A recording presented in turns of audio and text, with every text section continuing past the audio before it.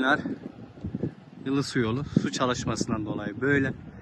Burası da bir aydır bu şekilde duruyor. Kalıbı çakılmış bir betonu dökülemiyor. Yolun durumu dersen ne taraftan geçebilirsen geç. En azından burası kazıldığında kenardaki malzeme düzgünce alınıp kenarı çevrilse bu yol bu şekilde olmaz. Büyükşehir yolu yapmıyorsa en azından buraların denetimini yaptırsın. Yolu bozdurtmasın.